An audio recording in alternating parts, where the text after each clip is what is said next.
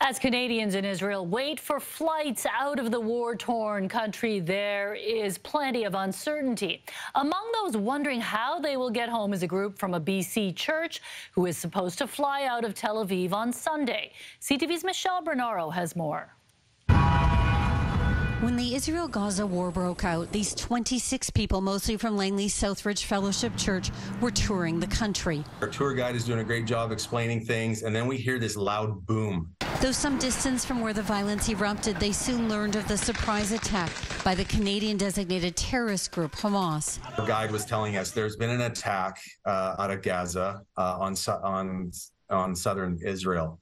And so you could tell he was shaken. They ended up heading north where their tour operators said it was safe. Uh, we saw a lot of movements of troops and tanks being hauled around on, on semis as we were driving by.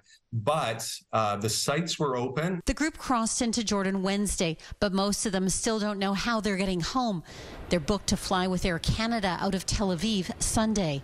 It seems to be a little bit crazy uh, with Air Canada right now and um, we're not sure even if they cancel the flight if we'll get our money back so you know there's a financial piece there's a safety piece uh, and it's just the uncertainty. We just don't know. Chapman says a few people in the group have decided they will not return to Israel, instead, paying for costly new flights out of Jordan.